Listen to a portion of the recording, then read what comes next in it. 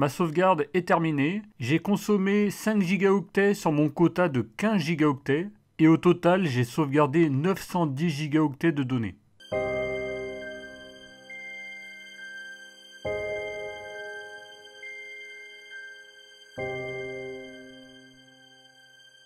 Bonjour tout le monde, alors dans cette vidéo, on va mettre en place une sauvegarde automatique de vos données. Le but étant de protéger vos données en cas de panne informatique, d'erreur humaine, etc.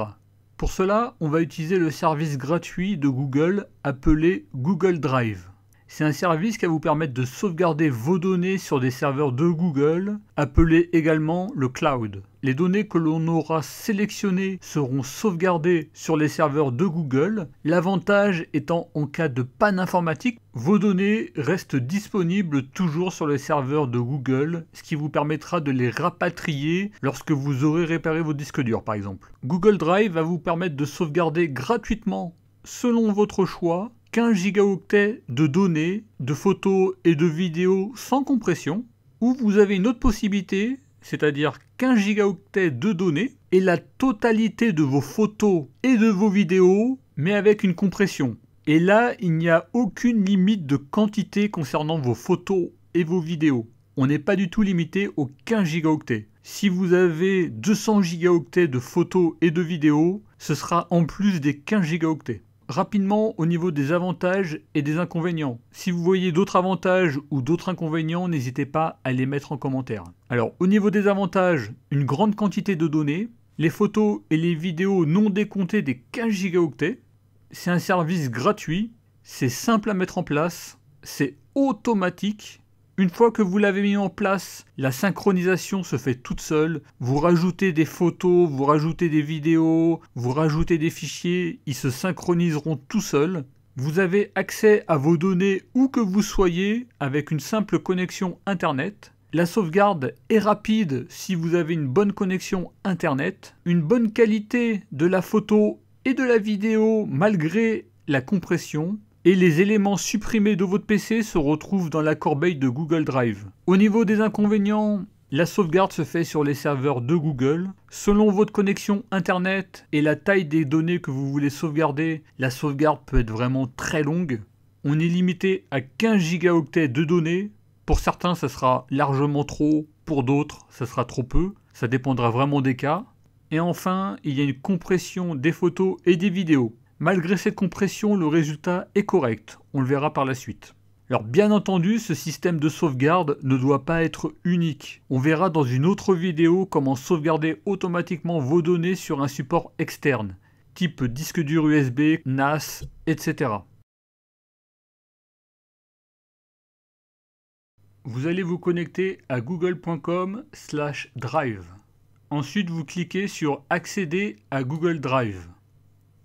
À ce moment-là, vous avez deux possibilités. Soit vous utilisez un compte Google existant. Imaginons que vous avez déjà un email Google, vous pouvez l'utiliser. Alors personnellement, je ne vous conseille pas d'utiliser un email déjà existant. Parce que en effet, imaginons que votre email contient déjà 10 gigaoctets de données.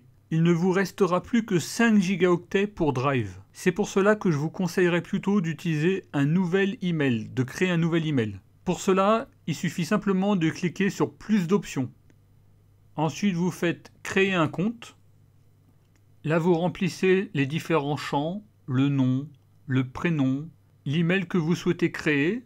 Vous mettez un mot de passe et vous confirmez votre mot de passe. Vous mettez votre date de naissance, votre sexe, vous mettez votre numéro de téléphone et votre ancienne adresse email. Si vous n'avez pas d'adresse email actuelle, vous n'êtes pas obligé de mettre. Donc là, selon votre cas, vous pouvez cocher ou décocher mettre Google en page d'accueil par défaut. Ensuite, vous faites étape suivante. Vous descendez en bas et vous faites j'accepte. À ce moment-là, votre email est créé. On peut déjà utiliser le service Google. Mais moi, je vous conseille fortement d'activer la double sécurité. Ça prend quelques instants et vous allez sécuriser de manière plus importante votre compte. Pour cela, en haut à droite, cliquez sur l'icône de Google et faites Mon compte. Dans les connexions et sécurité, choisissez Se connecter à Google. Sélectionnez Validation en deux étapes. Démarrer. Là, il vous redemande votre identifiant et votre mot de passe. Ensuite, vous faites suivant. Le numéro de téléphone, normalement, apparaît déjà. Vous faites suivant. Là, Google vous envoie un code de validation par SMS. Ce code à 6 chiffres, normalement, vous le mettez à ce niveau-là. Ensuite, vous faites suivant, puis vous faites activer. La validation en deux étapes est activée. Donc si vous descendez un petit peu plus bas, vous avez possibilité de rajouter un deuxième numéro de téléphone, par exemple, un numéro secondaire, ou par exemple le numéro de votre ami, etc. Maintenant, on va installer le logiciel de Google. Pour cela, vous vous connectez à google.com slash drive slash download. Au niveau de sauvegarde et synchronisation, vous sélectionnez télécharger, accepter et télécharger. En bas à gauche, l'application s'est installée, vous n'avez plus qu'à la lancer. Vous cliquez deux fois dessus. Voilà, l'application s'est installée, vous faites terminer. Vous cliquez sur votre menu démarrer, normalement vous allez voir l'application qui s'appelle Backup et synchronisation from Google. Vous y avez également accès en cliquant en bas à droite sur le petit icône nuage. Là vous faites commencer. L'email que l'on a créé tout à l'heure, vous devez le taper à ce niveau-là. Ensuite vous tapez votre mot de passe. La double sécurité se met en marche, ce qui est normal. Vous allez donc recevoir un code par SMS afin de vous connecter. Vous tapez le code à 6 chiffres que vous allez recevoir par SMS. Puis vous faites OK. Et là, vous arrivez sur le paramétrage. Donc c'est l'étape la plus importante. Vous allez sélectionner les dossiers que vous souhaitez sauvegarder.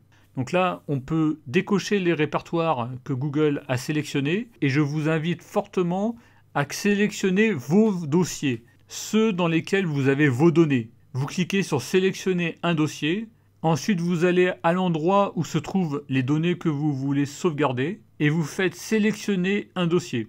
Le dossier va se rajouter dans la liste des dossiers et puis vous refaites l'étape. Vous rajoutez autant de répertoires que vous souhaitez. Le but étant de sélectionner tous les répertoires dans lesquels vous avez des données importantes. Alors en dessous, vous avez une option importante concernant les photos et les vidéos si vous sélectionnez qualité d'origine, les photos et les vidéos qui seront synchronisées vont venir en diminution de vos 15 gigaoctets de données.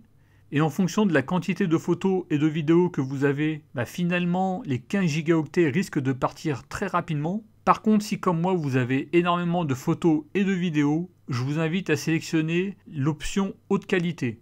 En effet, les photos et les vidéos ne seront pas du tout décomptées de vos 15 gigaoctets.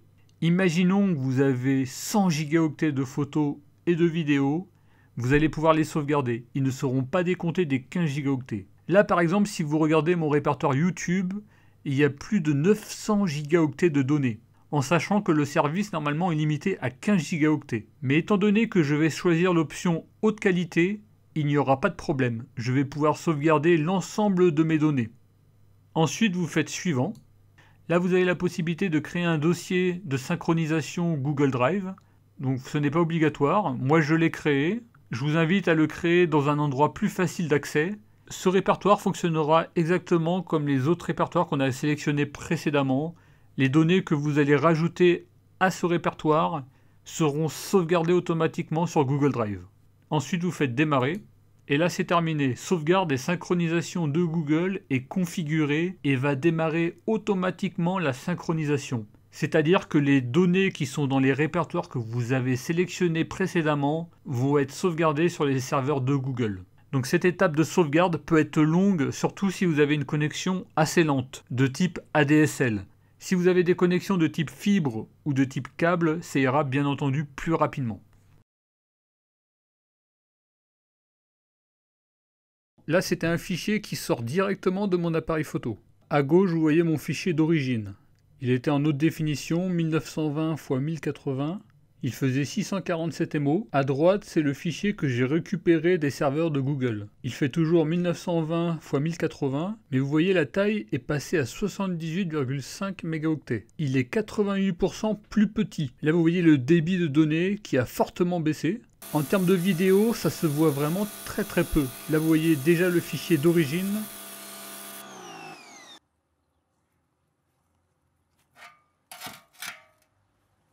et ensuite vous voyez le fichier de Google.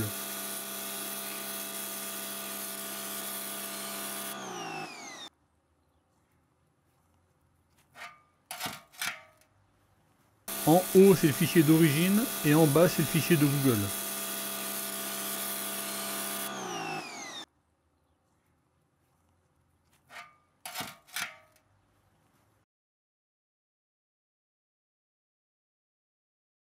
Là, c'est un fichier qui était sorti de mon logiciel de montage, qui a donc subi déjà une compression. Là, on voit que Google Drive le compresse 33% encore en plus. Il est toujours en haute définition 1920 x 1080.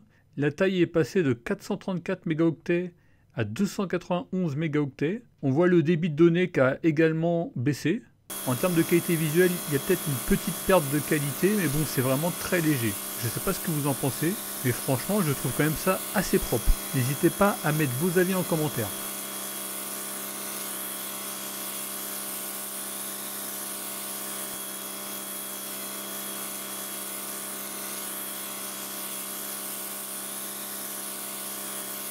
Donc là, en termes de résultats, on voit que ça a décapé.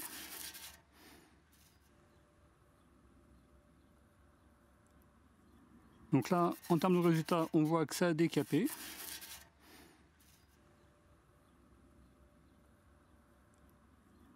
Donc là, en termes de résultats, on voit que ça a décapé.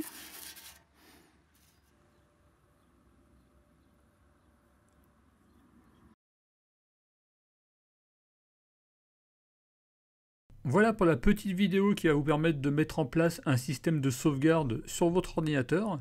Si vous avez des questions, n'hésitez pas à les mettre en commentaire. En tout cas, moi je vous remercie d'avoir regardé cette vidéo et je vous dis à très bientôt. Au revoir.